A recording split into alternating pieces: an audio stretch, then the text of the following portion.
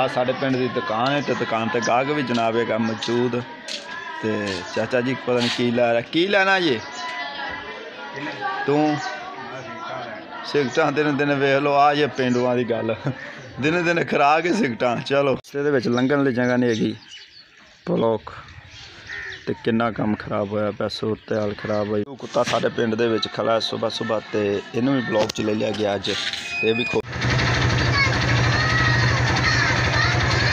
ਸਾਰੇ ਰਸਤੇ ਜਨਾਬ ਅਸੀਂ ਜਾ ਰਹੇ ਹਾਂ ਮੰਡੀ। ਤੇ ਮੰਡੀ ਦਾ ਵਿਜ਼ਿਟ ਕਰਵਾ ਰਹੇ ਹਾਂ ਤੁਹਾਨੂੰ। ਜਨਾਬ ਅਸੀਂ ਜਾ ਰਹੇ ਮੰਡੀ ਤੇ ਮੰਡੀ ਡੰਗਰ ਲੈ ਕੇ ਸਵੇਰ ਸਵੇਰ ਤਿੰਨ ਚਾਰ ਡੰਗਰ ਲੈ ਕੇ ਜਾ ਰਹੇ ਹਾਂ ਦਿਹਾਤ ਦੇ ਵਿੱਚੋਂ। ਤੇ ਜਨਾਬ ਇੱਧਰ ਫਸਲਾਂ ਜੇ ਫਸਲਾਂ ਚੱਲ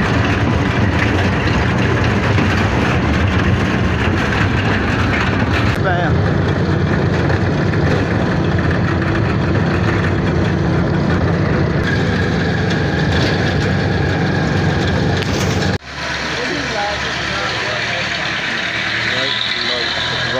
ਪੈਟਰੋਲ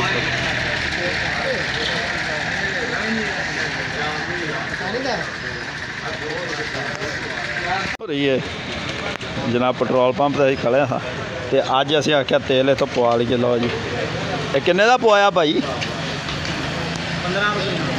15 ਰੁਪਈਆ ਦਾ। ਉਹ ਭਾਈ ਕਿਹੜੇ ਦੌਰ ਦੀ ਗੱਲ ਕਰਨਾ ਹੈ? 15 15 ਦਾ ਪਵਾ 400 ਰੁਪਈਆ ਅਸੀਂ ਪੀ ਪੀ ਹੋਈ ਬਸ। ਗਾਈਜ਼ ਅਸੀਂ ਆ ਗਏ ਮੰਡੀ ਤੇ ਮੰਡੀ ਵਿਜ਼ਿਟ ਕਰ ਲਓ ਤੁਸੀਂ ਤੇ ਅਸੀਂ ਸਵੇਰ ਤੋਂ ਸਾਰਾ ਵਿਜ਼ਿਟ ਕਰਾਵਾਂਗੇ ਅਗਲੇ ਬਲੌਗ ਦੇ ਵਿੱਚ।